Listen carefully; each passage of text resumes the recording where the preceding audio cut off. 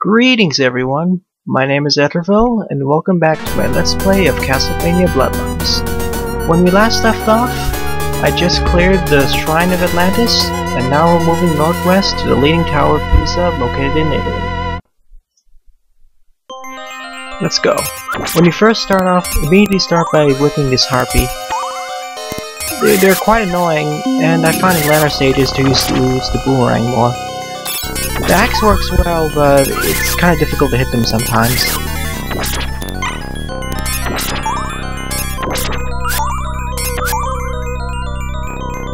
And here's a new new enemy, or reused enemy that is. These bulls will rip out the columns, uh, columns of these stands, so quickly whip them before they can hit you.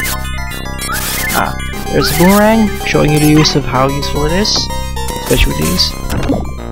By whipping these uh, Minotaurs as quickly as possible, you can pretty much stun lock them. Pretty simple. Now in the tower itself.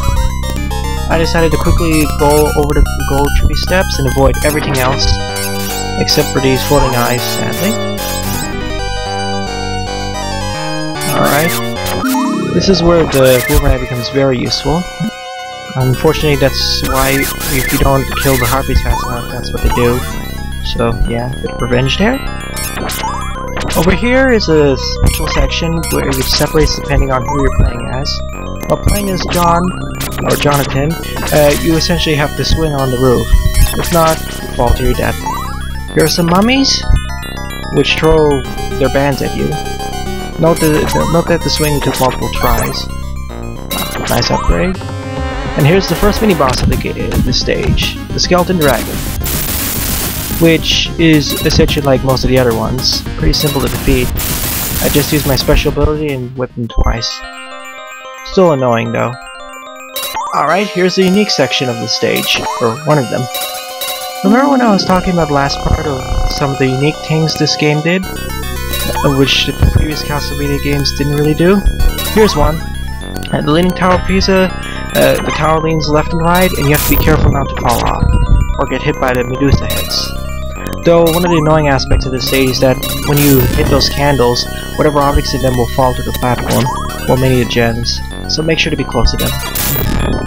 The, the Medusa heads themselves aren't too much of a threat, as long as you're careful and point in the correct direction, as they always come from the opposite side of the screen of which you are at. Like so. Bit close there. You continue. Think I could just collected? It killed all the Medusa heads, like in the previous part? Let's exit. Alright. Classic bats. There's the whip, which can be uh, destroyed by your own whip. Uh, I had some issues with jumping over this, so I decided to play it safe. Guarding the holy water as I find it to be one of the least useful abilities in this game. Yeah, it was kind of nerfed because of all the moving enemies. It used to be a good killer against stationary targets, but here, not so much. Except for its special form, but still. Another close call. Ah, the most annoying section of this stage, the one I dislike. Essentially, you have to race through these platforms from whichever section they are and kill these skeleton drakes or minotaurs. It's so easy to fall off here, as I'll demonstrate pretty soon. I died so many times in previous runs when I was a child, as, as well as test runs, due to getting hit by these. This is where the boomerang is essentially like a godsend, so... Ah, thankfully dropped it. Short on one side, and you hit it. And as I demonstrated, why I hate this much. Ugh, fell off the side so easily. Alright then, let's go back to it again.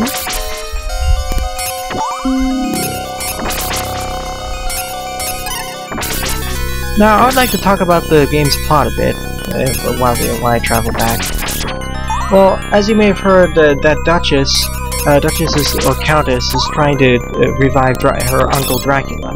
But what he didn't mention was that an, an evil witch uh, actually revived her, the Duchess or Countess from the dead, as she already died several hundred years ago. And And uh, it was also mentioned that the Countess uh, essentially orchestrated World War One by manipulating the assassination of Archduke Ferdinand or something along the same lines. So yeah, she's using the souls of all those dead troops as uh, troops as well as power for reviving Dracula. Anyways, we're back to the jumping up section, which I so do enjoy, as intended.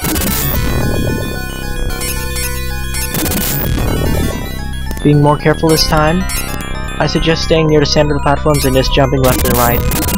Also, have a boomerang handy.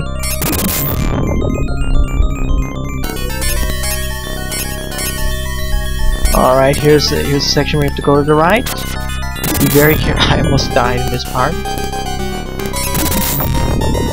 Continuously jump.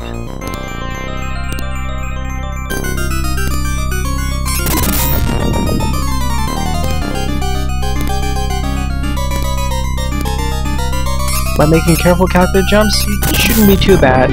Just be careful not to be hit by anything. Thank goodness there are only one hit kills. Alright, one last room and we're at the boss. Decided to switch my weapon for an axe, though I could suggest taking the boomerang. Alright then, here's the boss of the stage, the giant hell bat, or I like to call it the bat which keeps uh, which keeps annoying the ear so much. First, he'll try shooting you with his tail. Uh, just dodge uh, just try dodging it. At this point, he spins around the tower, uh, trying to psych you out.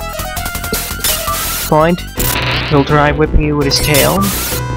Again, he'll try shooting his tail at you, like normal. And then when you knock him down to a low enough health, he'll switch back, spin around, and then he'll try ramming you on the ground, or Goomba stopping you, essentially. Just keep uh, dodging him left and right, and he should go down pretty easily. Ooh, that voice. So annoying. As much as I love the Genesis sound chip, it does have some questionable sound, uh, sound bites. There's the orb. And thus, the Leaning Tower of Pisa is now clear. I still wonder how the how the enemies were able to move the tower left and right during uh, stage 3-5. Oh well, probably super magic. Overall, I, I kind of don't really like this stage, but it's serviceable. Anyways, moving up north to the Munitions Factory in Germany. Now, compared to the previous stage, this is one of my more favorite stages of the game, next to Atlantis in the final one. Be wary of the skeletons in the background, as they can throw bones at you, and after a while they'll jump right around the, off the fence into the, the, just like that skeleton just did. They can jump after throwing a bone, they can just jump right into the foreground.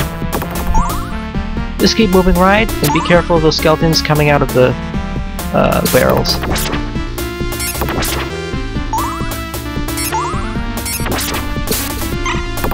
Wow, another close call. I'm kind of playing risky now it seems. Just be wary that whenever they throw the bone, they're at one risk of actually hitting you with their throwing bone. Now, these these construction skeletons, like the ones shown earlier, unlike the other ones, once you hit them once, they, they'll collapse, but they won't die until you hit them again once more. Also, using the whip's properties for fun and profit. Alrighty then, just like usual. Just be careful once you hit them, make sure to wait for them to come back, otherwise you may get hit. Here's a secret compartment containing food, though it's not really useful now. Alright.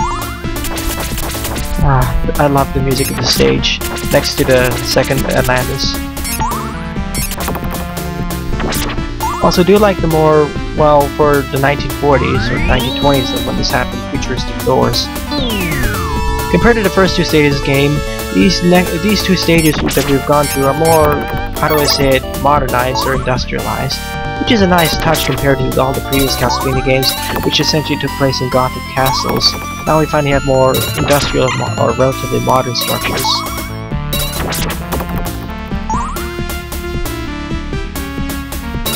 Beware of these essential, these pistons as they can just crush you into the wall and insta-kill you. I I kind of ducked here, thinking it would be crushed, not. Wait for that, uh, wait for that piston to move, then start jumping up. Beware of that one. Ten. And move. Alright, here's the gear cog, which is kind of glitchy in some regard. Let's jump on top of it, and you should be able to move it. Also be careful of the surprise Medusa heads.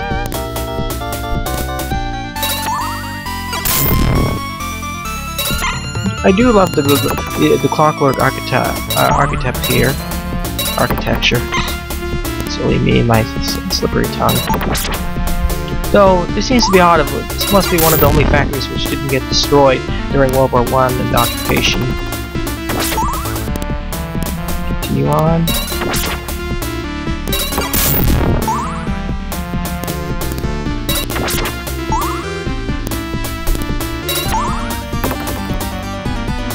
No, it's a well, it's a factory, but it looks seems to be more like a, a mixture or something. well, who do I know? Game on Ah, this section. As you'll see soon enough, I almost failed this and fell to my death, but thanks to Jonathan's whip-swinging abilities, I was able to survive. Be wary of those gulls, as they take two hits to kill and can knock you into the pit. Standing one of these platforms will uh, will force the other one to go down, and I have to jump. At this point, at this point right here, I kind of screwed up my jump, and I thought I was to die, but somehow, I, thanks to my whipping skills, I was somehow able to grab onto the ledge right over there and swing my way off to safety. If I was playing as Eric, I don't think I would have survived that, so lucky trucking. Anyways, time for the next mini-boss, Dracula's Monster. He first tries by whipping you with his spiral, then tries whipping you at the ground, just duck. And when he to the ground, just jump on one of the platforms. And yeah, it was rather simple. Too simple. I kind of pity him. Explain the... Ah, these robots, or robot drivers. Use a special weapon or whip them in one hit to kill them. Though, in this case I just use my special ability as they're quite annoying to take care of. And yeah, those blades really hurt. Just go through their empty spots. There are some glitches with with hit detection which you can use to your advantage, but I suggest taking it safe, as these can just 3 hit kill you.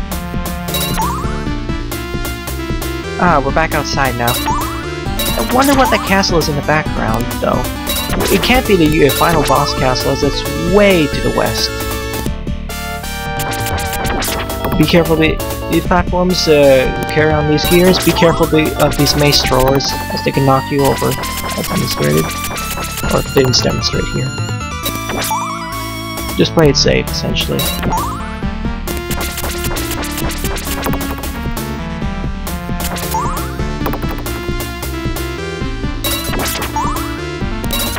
Alright, we've now made it to the second last room.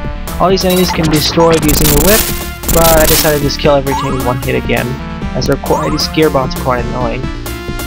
Speaking of gearbot, here's the boss of essentially the munitions factory. It's a clockwork Autobot, as I call it. Attack the Orbinus metal to kill it, or destroy it. It'll first start off by jumping, left to right. At this point he'll spin around and jump to the floor. At this point, he swims to the floor and uh, rams to the left, left or right, just to jump over his platform. Go to the center. At this point, he'll throw uh, gears at you. Just walk away, jump from them. Now he'll throw gears at the ground, just jump over them. At that point, he was trying to ram me, but I was able to knock him out of it by hitting him.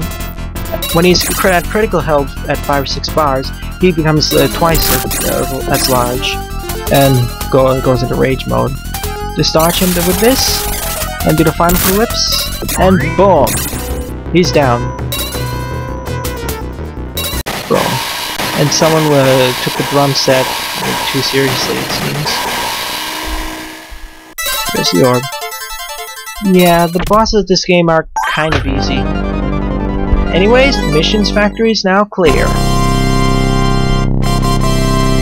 Only two or three more stages left to go before Dracula is done for. Overall, I rather like the Munitions Factory, though, uh, though it was kind of quite hard with a lot of close calls and deaths. Anyways, thanks for watching viewers. In the next part, we'll be exploring France. Have a nice day.